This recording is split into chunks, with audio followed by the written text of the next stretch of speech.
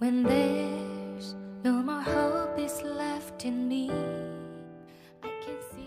আসসালামু আলাইকুম রহমতুল্লাহি ওবরাকাত। সবাইকে ওয়েলকাম জানাচ্ছি আমার চ্যানেল রুমিস ফ্যাশনেবল হাউসে। আমি পারানা ইসমিন রুমি চলে আসলাম আপনাদের মাঝে আরেকটি নতুন ব্লগ নিয়ে। আশা করি আজকের ব্লগটিও আপনাদের ভালো লাগবে। এটা হচ্ছে যেদিন আমাদের বৃষ্টি হয়েছে সারা বাংলাদেশে, সেই দিনটির ব্লগ, ভিডিও আর কি। তো আসলে এরপরে তো আর ভিডিও দেওয়া হয়নি। ভাবলাম যে ওইটাই আমি দিই। আর এটার ভিতরে অনেকেই আপনারা চিন্তা করছেন, টেনশন করছেন আমার হাজব্যান্ডের কি হয়েছে। সেই বিষয়টা আমি একটু বলব আর কি। তো হয়তো অনেকের জানা হবে, অনেকেই টেনশন করছেন, সেটা দূর হবে আর কি।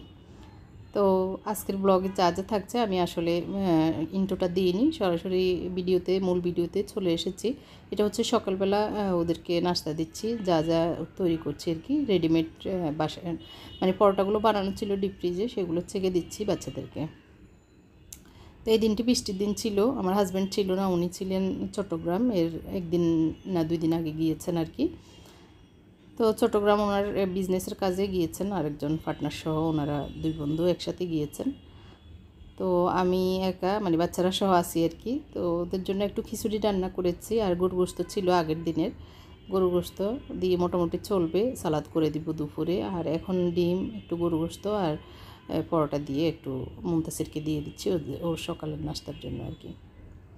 তো বৃষ্টির দিন টেনশন করতেছি ওনার জন্য। চট্টগ্রাম যেহেতু গিয়েছে, ওইদিকে বৃষ্টিপাত বা অবস্থা ভালো না কক্সবাজার শুনে। তো উনি বলল, না, চট্টগ্রাম বেশি বৃষ্টি নাই, হালকা বাতাস বা হালকা বৃষ্টি হচ্ছে ওই রকম আমাদের ঢাকায় যেরকম অনেক বেশি বৃষ্টি ছিল, পানি উঠে গিয়েছে, চট্টগ্রাম নাকি ওই রকম ছিল না আর কি।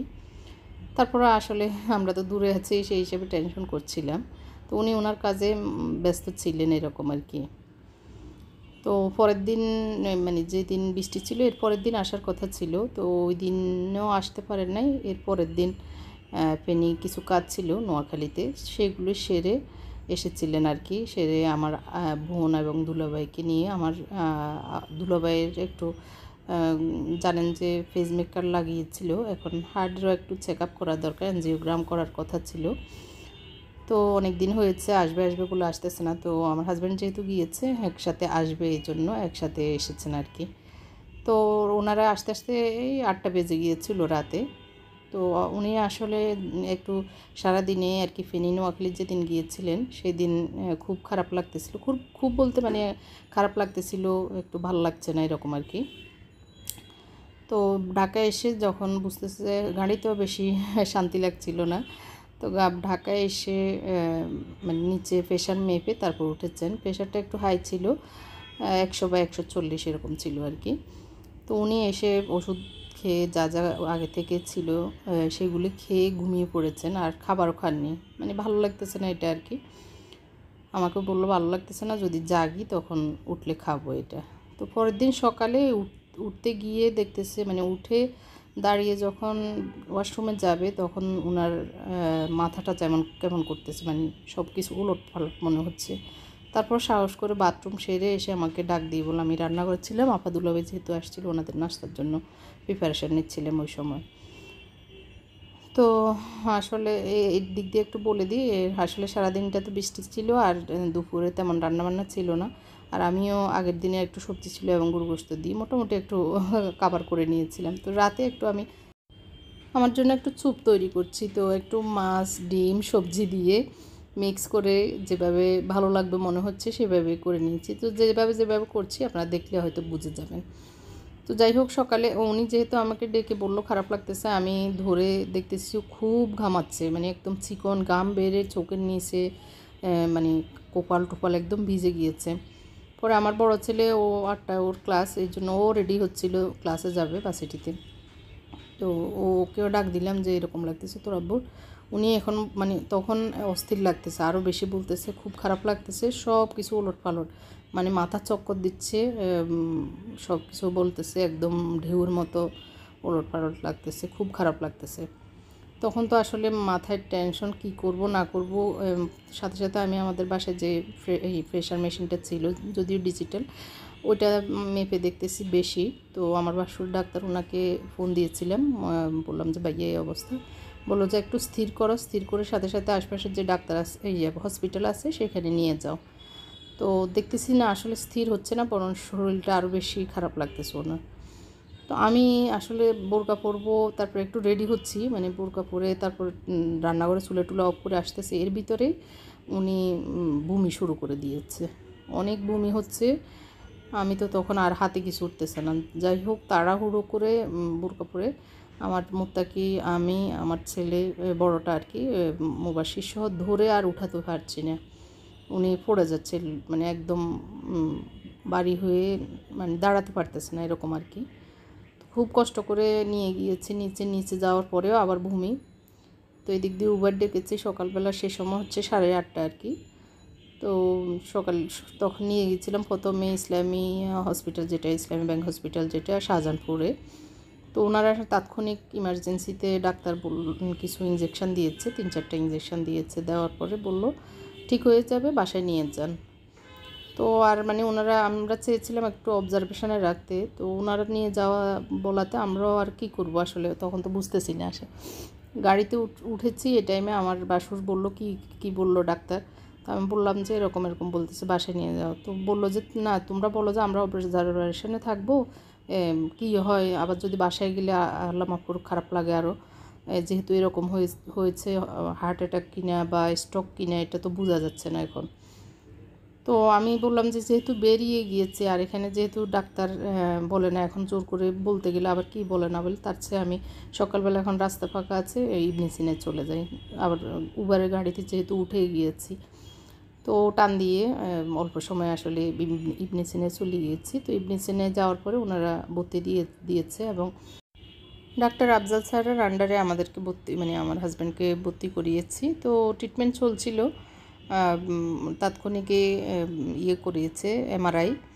না সরি সিটি স্ক্যান সিটি স্ক্যানে তেমন আল্লাহর রহম- রহমতে কোনো সমস্যা পায়নি। তো সিটি স্ক্যান যেহেতু ভালো এসেছে আরও কী কী পরীক্ষা করেছিল, সবগুলোতে মোটামুটি আল্লাহর রহমতে ভালো ছিল। তো বলল, তাহলে যেহেতু পাইনি কী কারণে? এটা হলো ব্রেন স্ট্রোক কিনা? ওনাদের মনে হচ্ছে আর কি ব্রেন স্ট্রোক তো তাহলে একটু এমআরআইটা করি যদি মানে কিছু থাকে তো এটা ট্রিটমেন্ট চলল না, আর রিপোর্ট যদি ভালো হয় তো আলহামদুলিল্লাহ। তো আমরা বললাম অসুবিধা নাই, তো এমআরআই করা হলো আর কি। এমআরআইতেও আল্লাহর রহমতে ভালো হয়েছে, কিন্তু ওনার আসলে তিন দিন মানে তিন দিন দিনও ওনার ঘুরানিটা যেটা মাথা চক্কর দিচ্ছে সেটা যাচ্ছে না। আমরা প্রতি বেলায় ওনাকে যখনই বাথরুমে যাওয়া দরকার হচ্ছে, দুইজন তিনজনের ধরে ধরে নিতে হচ্ছে, আনতে হচ্ছে, এরকম আর কি। না হয়ে পড়ে যায় ব্যালেন্স নাই। মনে হচ্ছে যে ওনার সব কিছু এদিক ওদিক কায়ত হয়ে আছে, আর সামনে মনে হচ্ছে পাহাড় বা গর্ত এরকম টাইপের আর কি। তো যাই হোক, চার দিনের দিন আসলে আলহামদুলিল্লাহ উনি বলল একটু কম লাগতেছে মানে আগের দিন থেকে একটু কম মনে হচ্ছে, তো চার দিনের দিন ডাক্তার বলল। তাহলে একটু যেহেতু ইমপ্রুভ আছে, আর আমরা যেহেতু পরীক্ষা নিরীক্ষা এর ভিতর চোখ চোখের ডাক্তার দেখিয়েছে হরমোনের ডাক্তার দেখিয়েছি তো আলহামদুলিল্লাহ কোনো সমস্যা পাননি। তো যেহেতু পাননি, তো ডাক্তার বলল যে তাহলে অসুবিধা নেই, আপনি চোদ্দ দিন পরে আবার আসেন, ওষুধ দিয়ে দিয়েছে, বাসায় চলে যান। তো আমরা আলহামদুলিল্লাহ গতকালকে বাসায় চলে এসেছি। তো এসে আসলে অনেক দিন হলো ব্লগ দিতে পারছি না, আর অনেকেই মেসেজ করছেন, দোয়া করছেন। এই জন্য আপনাদের অসংখ্য অসংখ্য মানে আমার মনের থেকে ধন্যবাদ জানাই এবং শুক্রিয়া জানাই। আল্লাহ আপনাদেরকেও ভালো রাখুক। আসলে আমার ব্লগ যারাই দেখেন, অনেক বড় মনের মানুষেরাই দেখেন, আলহামদুলিল্লাহ। আলহামদুলিল্লাহ, খেয়ে শেষ করলাম, কিন্তু খুব কষ্ট হয়েছে, অনেক বেশি হয়ে গেছিল আমার জন্য। কারণ আমার ছেলেরা খেতে চায় না এই ধরনের চুপ। ওরা চুপ, এমনিতেই যে কোনো চুপই একটু কম খায়। তো, আলহামদুলিল্লাহ, অনেক মজা লেগেছে, অনেক খেয়েছি। আজকে সাহেব নাই বাইরে অনেক বৃষ্টি আজকের দিনটি সবাই ছিল আমার হঠাৎ বিপদের কাহিনী। টেনশন আর পেরেশানির দিন। আশা করি বুঝতে পেরেছেন দোয়া করবেন সবাই সবার জন্য। আর আসলে আমরা কোনো কিছু হলে বিপদ মুসিবত হলে সেটা আল্লাহ দিয়েছেন। এটাই আমাদের নসিবে ছিল এটাই আমাদেরকে মনে করতে হবে। কোনো বিপদ মুসিবত হলে আমরা ওইটার দোষ দিব, এটার দোষ দিব, এটা মনে করব। আমাদের নসিবে ছিল বা তকদিরে আছে, এটাই আমাদেরকে মনে করতে হবে। আমাদের তকদিরের উপর বিশ্বাস, যারা ইমানদার, তারা তকদিরের উপরেই বিশ্বাস করেন। এটা সেটার উপরে বিশ্বাস করে ওইটার কারণে এটা হয়েছে, এটা কখনোই মনে করব না। তো যাই হোক, এটা বলার কারণও একটা ছিল, একজন কমেন্ট করেছেন তাই। আচ্ছা যাই হোক, আলহামদুলিল্লাহ, আল্লাহ যখন যেটা করে, আমরা আল্লাহ শুক্রিয়া আদায় করি। আল্লাহ পাক ভালো প্রতি মানুষের জীবনে একদম সারা বছর ভালো রাখবে না, আবার একদম খারাপও রাখবে না। প্রত্যেকটা মানুষের জীবনটাই এরকম যে ভালো মন্দের মধ্য দিয়েই জীবন যাবে। চাই আপনি অনেক আমলদারি হন, আর চাই আপনি আমলদারি না হন। যে যে অবস্থায় আছেন, তার জীবন কখনোই এক সমান যাবে না, এটাই স্বাভাবিক। আমাদেরকে রোগ, শোক ভালো, মন্দ সব কিছুর মধ্য দিয়ে আমাদের জীবনটা অতিবাহিত হতে হবে। তো যখন যে অবস্থায় থাকব সেটাই বলব। আলহামদুলিল্লাহ যে ভেন্টিলেটারের এই ইয়েটা দিয়ে ফ্যানটা দিয়ে আমার এখানে বৃষ্টির পানি এসে চুলের নিচে একদম ভরে গিয়েছে। তো ওইটা ডয়টা বের করে এখন মুছে নিচ্ছি। আর যেহেতু আজকে সারাদিন বৃষ্টি, মদিনা তো আসবেই না, আসার কথাই না, এমনিতে আসে না। তো যাই হোক, সারাদিন একটু একটু করে অনেক কাজ করতে হয়- হয়েছে। তো দোয়া ফাটলা যেগুলো করে রেখেছি, সেগুলি এখন ডয়ারে বা যে- যে জায়গায়, সেই জায়গায় রেখে দিব আর একটু একটু করে গুছিয়ে নিচ্ছি। তো সারাদিন আসলে একটু অলসতাও কেটেছে বৃষ্টির কারণে। তো বৃষ্টি হলে কেমন যেন লাগে এটা আর কি। তো এই জিনিসগুলো গুছিয়ে নেব আর দুই একটা দোয়া পাটলার জিনিস আছে, সেগুলো ধুয়ে নেব, বোতলগুলো ফুরিয়ে নিব। এই যে ডয়ারটা নামিয়ে আমি খুলে এইভাবে রেখেছি আর এটার ভিতরে পরে ঢুকিয়ে নিব একদম। তো পানিগুলো আস্তে আস্তে পুরোনো, পুরা হোক, আর এদিক দিয়ে একটু আলু কুচি। আমি সবজি কাটারটা ভিডিও দেখিয়েছিলাম। সবজি কাটার যে ভিডিওটা গিয়েছিল আর কি। তো আলু কুচি, গাজর কুচি ছিল। সেটার সাথে আমি ভাবতেছি একটা চিচিঙ্গা কেটে কুচি করে রেখে, একটু সিদ্ধ করে রেখে দিই। সকালে ভাজি করতে আর অসুবিধা হবে না, একটার সাথে একটা হয়ে যাবে।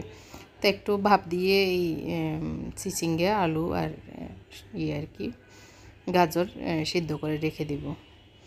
তো এই তো যেগুলো দেওয়া হয়েছে এগুলি জায়গায় জায়গায় রেখে দিচ্ছি तू अमीर हरम मैं फकीर हजम तू अमीर हरम मैं फकीर हजम